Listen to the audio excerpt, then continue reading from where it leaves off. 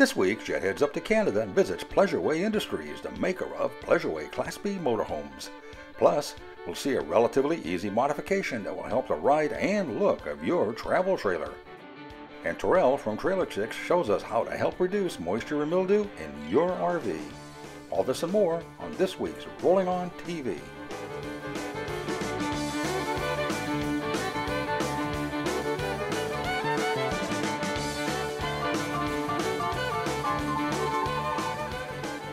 Closed and Spanish captioning, where available, is sponsored by Jayco. At Jayco, we've been making family dreams come true since 1968.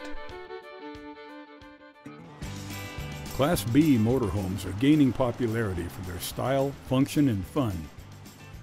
Pleasure-Way Industries is a leader in the Class B market, and we recently paid the company a visit to learn more about it. Company CEO Dean Rumpel filled us in on the operation. Uh, Pleasure-Way Industries is a family-owned and operated company that primarily specializes in building Class B motorhomes and B plus motorhomes. Pleasure-Way Industries was founded in 1986 by my father, Merv Rumpel. Uh, it started off with my dad having a RV dealership in Saskatoon, which we still have for over 40 years. In 1986, he wanted to take on a Class B product line but the lead time to get any product was stretching out to six months when we went to purchase some. So in that time frame, my dad thought, hey, I can build one in six months. So that's how Pleasure-Way started. It started off in a very small 5,000 square foot building, starting building by one, and we built I think 12 in the first year.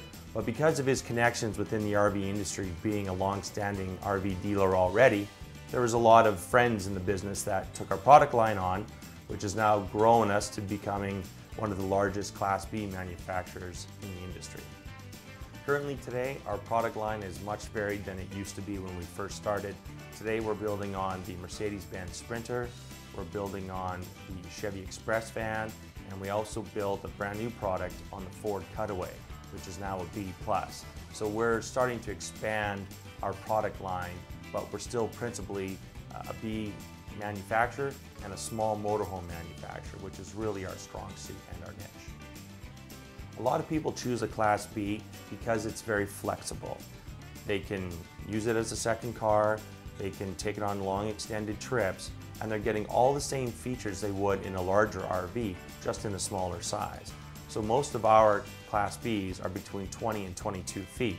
So they can still park in a metered stall, they can get onto ferries, they can go into places in a lot of national parks now that bigger coaches can't go. A lot of our consumers are already in the RVing lifestyle, so they're now in, into downsizing. They don't want to give up the freedom of what they love in RVing, but they don't need to do it in a 40-foot coach anymore. Part of what makes Pleasure-Way unique is that we are still one of the very few family-owned and operated RV manufacturers left today. I'm thinking there might only be two or three still left. So that makes us unique is that we're very hands-on and day to day we're running our own company here, which I think makes us unique today. Also, what we've just come out with is a brand new five-year coach warranty. So that was an industry first. We'll back up our coaches for five years or 60,000 miles and uh, we're prepared for that. We believe in the quality of what we do and the people really that build what we make is the secret to our success. Uh, without a great staff believing in what they do and taking pride in how they what they build, uh, we wouldn't have the product we have and we surely wouldn't have the confidence to back it like we are. To illustrate the company's commitment to quality, Dean showed us around on an enlightening tour of the Pleasure-Way facility. So one of our first stops in the production process is our fiberglass department. Here we build all our own molds and we make all our own fiberglass parts. Here we're going to get ready to make our own running board parts. We have some storage compartments.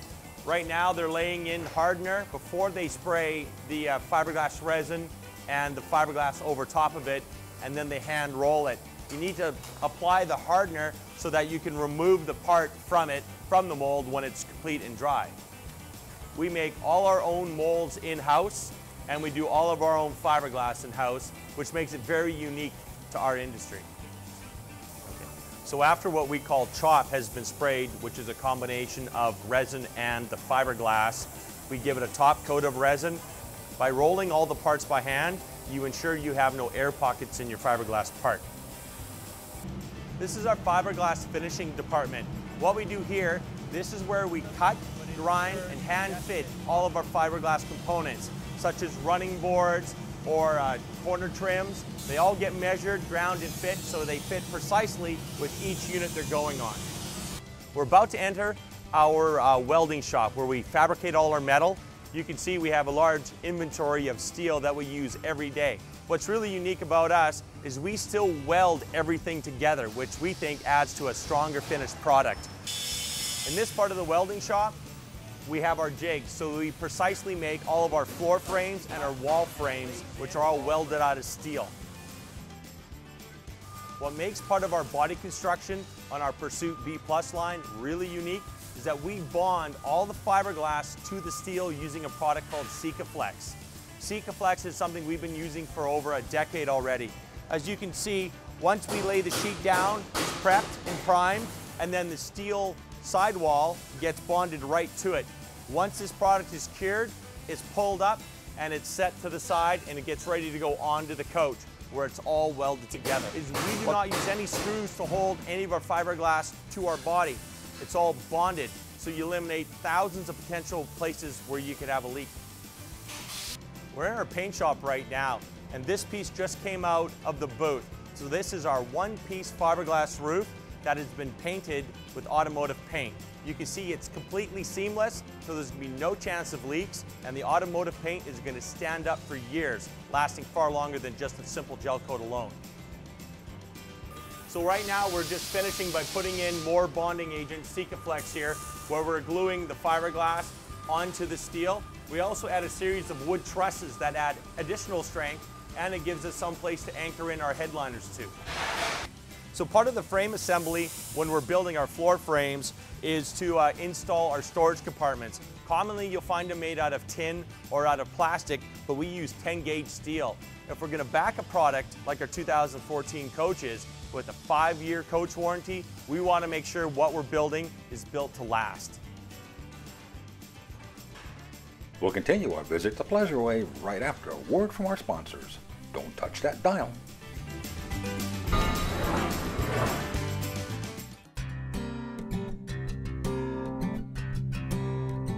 All starts with pride and ends up being the gold standard in pop-up truck campers. Four-wheel campers. Need we say more? See for yourself by visiting fourwheelcampers.com. Is your pop-up camper canvas getting a little worse for wear? Don't fret. Just call the friendly folks at Canvas Replacements, and their experienced staff will cut and sew you up a new one in no time.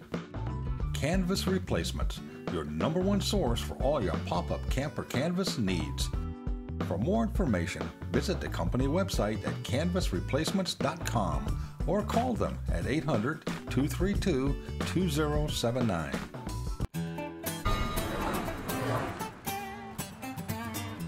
Welcome back to Rollin' On TV. Pleasure-Way CEO Dean Rumpel is taking us on a tour of his company's factory for an inside look at how his motorhomes are built.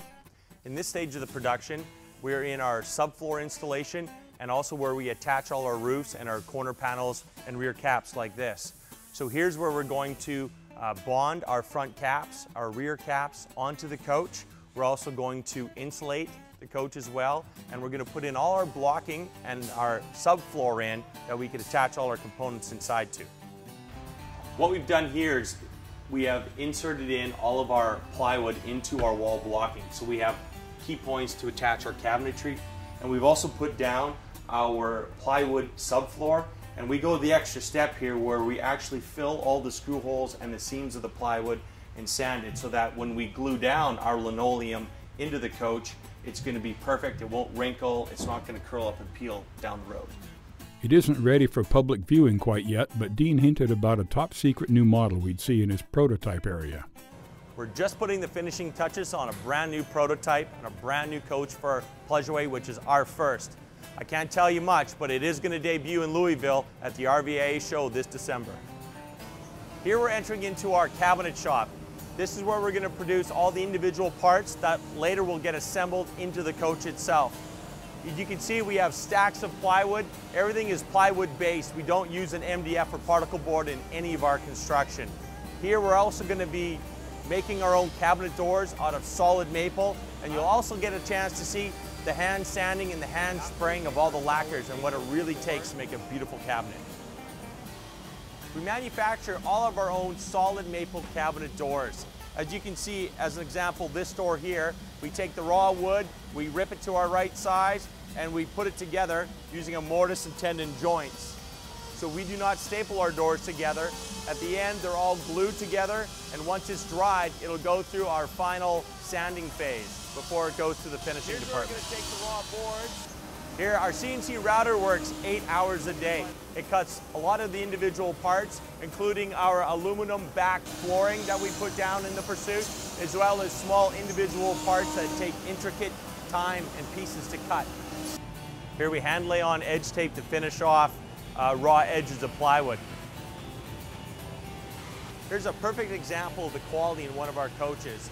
This is a, a one-piece face frame in the kitchen. So as you can see, it's a solid piece of plywood. We have no joints holding any of the areas together, which means it won't squeak going down the road. It makes it very solid. We use an extensive amount of corian in all of our coaches, from vanity tops to kitchen countertops, backsplashes, and it's all done right here. The amount of time it takes to go in and polish and sand corian is tremendous. On average, it's nine or 10 hours per coach alone.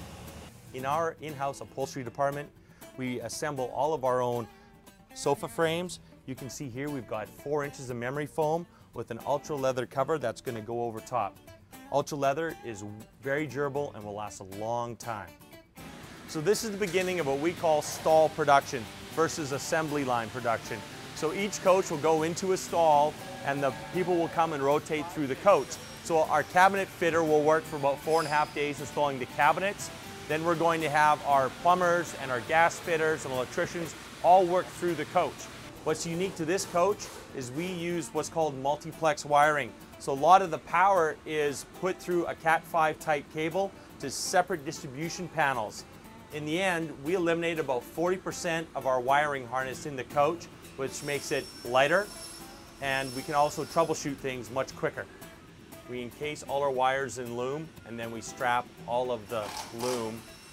In our steel step wells on our boxes, anywhere there's a seam, we seal all the seams, so you're never gonna have moisture issues and you're never gonna have rust issues down the road.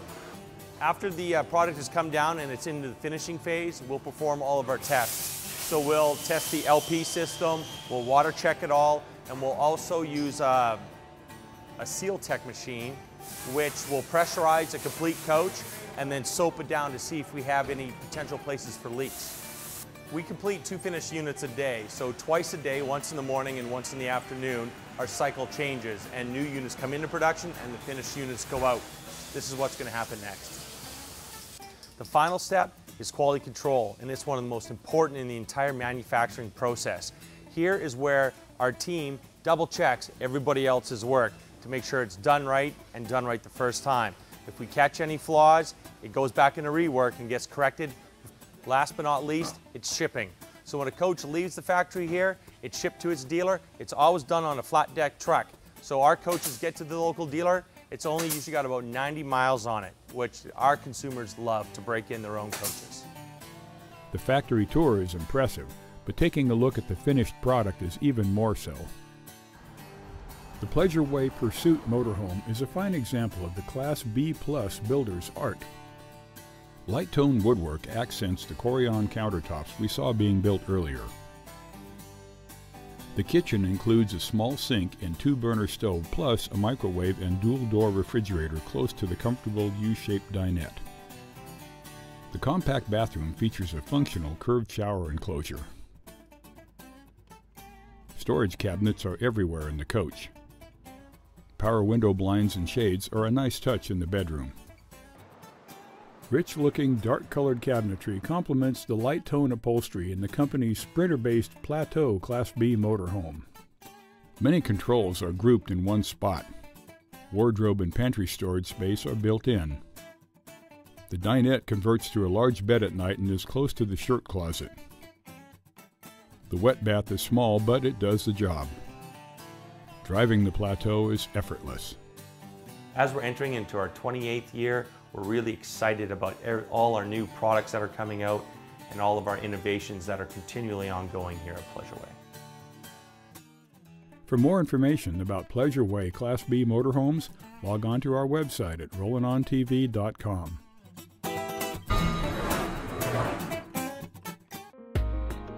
Exciting, great things do come in small packages, like exceptional quality extreme comfort, and luxurious appointments. You'll find all this and more wrapped up in one beautiful package. The Pleasure-Way Pursuit.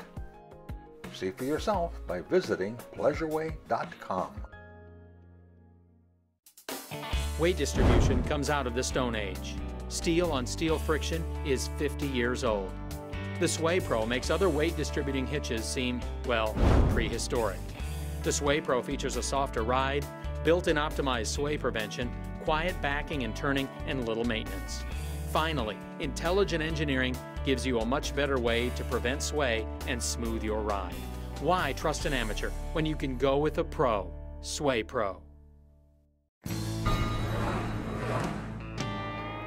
Safe and secure RV travel is the objective and modifying your trailer's ride height may improve your towing time. If you tow a travel or fifth wheel trailer, you may be under the impression that your trailer sits a little bit too low. Well, this can be anything from a mechanical problem. Um, for example, if you go through dips or bumps in the road, the back end of your trailer hanging too low can cause damage to low-hanging equipment like stabilizing jacks, the rear bumper, or even your plumbing, God forbid or it can simply be an annoyance that you don't think it looks very good. We're here at Hitch Pro and Tow in Eugene, Oregon, where the experts are going to be performing a lift job on a trailer. It can be a pretty simple process sometimes, and in this case, all they're doing is taking the axles from above the leaf springs and moving them below the leaf springs. This raises the whole trailer a few inches, gives a little bit more ground clearance, and uh, frankly, it makes it look pretty good too. So let's follow along and see how it's done. Safety is always first with any shop project. The technicians at Hitch Pro start their job by supporting the trailer's frame with heavy-duty commercial jacks. All four wheels need to be off the ground during this job, and they're removed for easy axle manipulation. First, the U-bolts and spring plates come off and are set aside for reuse. It's a good idea to replace them with new hardware if they're too rusty or worn out. Removing the leaf spring main bolt allows the axle to be dropped from its original location and repositioned below the spring. This bolt uses a knurled retaining system that calls for some hammer encouragement to get things moving, especially when rusty or corroded. The leaf spring is simply reinstalled once the axle is removed. New leaf spring perches are placed loosely on the axle but not yet welded to allow accurate adjustment. Brian reassembles the U-bolts and retainer plate with the axle below the leaf spring.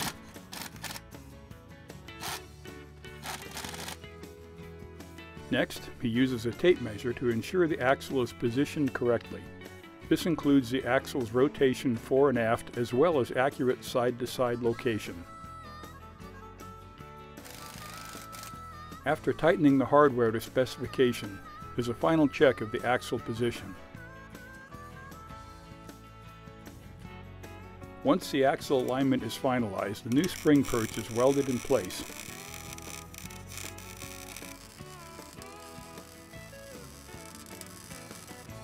On the left is the original axle setup, and on the right, the new spring over axle arrangement. This shot illustrates the old axle height at left and the new position at right. A little bit of spray paint helps to deter rust and corrosion on the new hardware. When reattaching the brake wiring, it's a good time to inspect the overall wiring and make any changes needed to ensure reliability and secure electrical continuity.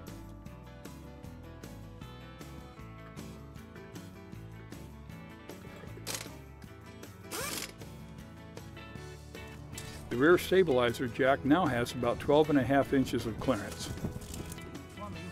Likewise, the plumbing has an honest 12 inches of ground clearance. That's good for peace of mind on uneven terrain. Right here at the wheel well, it's about 29 and a quarter inches compared to what we had before. That's a healthy improvement in clearance. The finished trailer looks great and rides higher. This kind of lift may be just what your trailer needs too for safe and damage-free towing. For more information, see your local fabrication shop or log on to our website at rollinontv.com.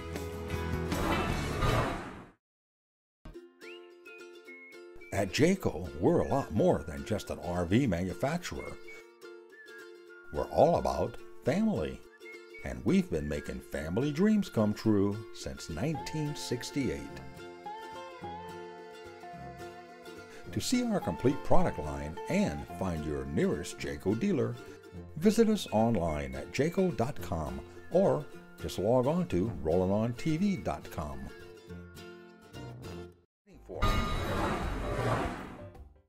Hi, this is Terrell, the Clever Chick, and I'm here with another quick tip on how to live fabulously in a small space. Do you ever wonder why your crackers get soggy or you get mildew on the inside of your shoes? This is quite common in small spaces, whether you're in your tiny home, your RV, or a trailer. What happens is when there's an imbalance between temperatures, hot and cold, that's what creates the condensation. So almost all of us have experienced it in our car. We're just getting on a much bigger level when we're living in a trailer because we've got our kitchens and our bathrooms besides just the body heat that we create. What you want is a tool that will allow you to remove some of that moisture from the air. In the case of trailers, dehumidifiers are a really great solution to this problem. An inexpensive, low-tech solution is using the granules that will absorb the moisture from the air and then release the water into a collection pool underneath. Now what's great about this is first, it's inexpensive, it's easy to set up, and this is one of the options that you can use when your trailer isn't in use and you're not necessarily plugged up to electricity. That's important to remember. Even if you're not using your trailer, you still want to protect against that imbalance. So this is great. Just set it up, occasionally check it to empty the moisture, and refill the granules as needed. If you're looking for a chemical-free dehumidifying solution, there are several eco-friendly products on the market. Now these involve recirculating the air and so require that you have a working plug-in. There are many models that you can find. What's important is that you select one that's sized appropriately to the cubic square footage of the area that you'll be using it in. One of the easiest ways to increase the air circulation in your trailer is just to make some small changes in how you maintain your living space. For instance, it's a good idea just to crack your cabinets a little bit, just so that air can circulate, especially if it's a cabinet that contains food foodstuffs or other materials such as papers that might trap moisture. Another quick solution is use your air vents that you have. You can open those up Especially if you're cooking and you're generating steam, open up your vent so it goes outside. When you're through cooking, close it up. That'll still keep some of the heat in and you'll be comfortable.